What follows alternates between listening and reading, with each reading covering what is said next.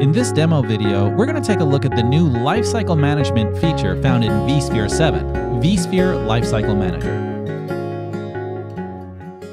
Supporting server vendors will provide a hardware support manager or HSM that once installed inside vCenter can be used to manage vSphere Lifecycle Manager.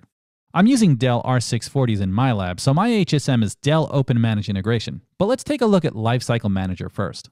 A desired image in VLCM consists of a base ESXi image that can either be manually uploaded or pulled from a vSphere depot, and vendor add-ons that are packages or vendor-specified components like firmware and drivers.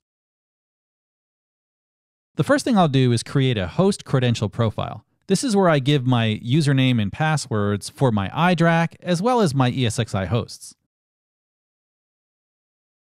I'll provide the servers in my cluster, and then I'll test my credentials.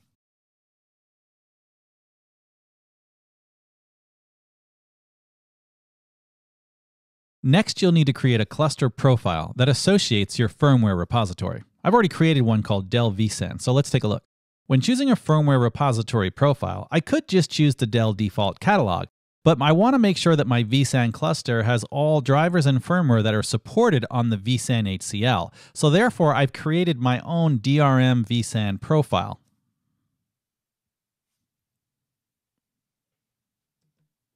Next, I'll select the servers in my cluster that I want to manage. I'll also choose a schedule for drift detection. And then click Finish. Now that I've determined my desired ESXi version and my vendor add-ons, it's time to put all of this together inside of my image. From the Select Firmware and Drivers add-on, I'm going to choose that Dell vSAN profile that I created earlier. Once I hit save, this is going to validate both ESXi as well as the firmware add-ons that are inside of that profile against all of the servers that are associated with my profile. Upon compliance check, I can see that several of my servers are not in compliance. My ESXi version is fine, but I've got some outdated firmware, so I need to go ahead and remediate these servers. I can choose to remediate one server at a time or remediate all. I'm going to go ahead and remediate all.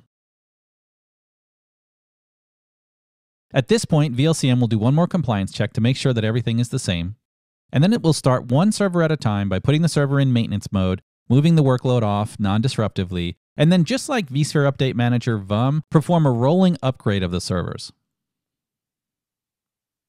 Information about the upgrade can be found here in the Updates tab, but for detailed logs, you can go to your Hardware Support Manager's Log tab.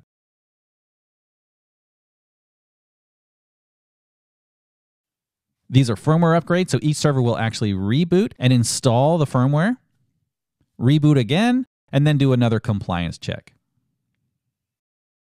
Logging into my iDRAC, I can see that the firmware upgrade is in progress. Once complete, the server restarts and runs a compliance check.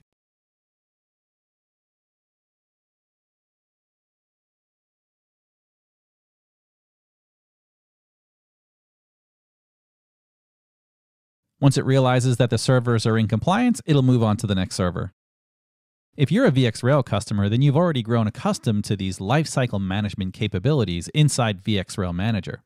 But for vSAN Ready Node customers, this is an exciting step in the direction of delivering simple, reliable, and consistent lifecycle operations for vSphere and HCI clusters.